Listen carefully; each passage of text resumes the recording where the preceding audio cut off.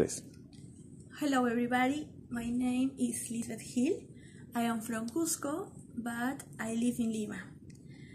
It's uh, spring in Lima now. Uh, it's a beautiful spring night because it's not raining and it's not a cold night. Uh, spring mornings are sunnier than winter.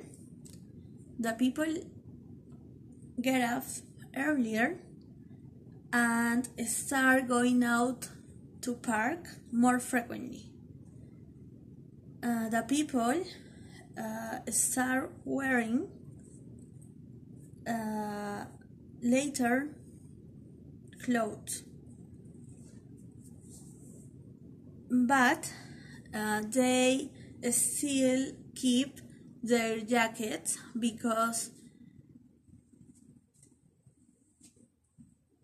there are still windy days.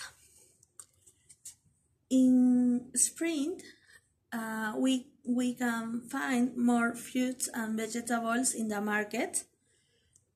And I love spring because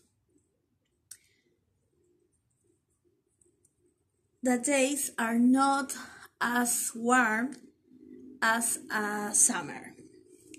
Thanks for watching. Bye.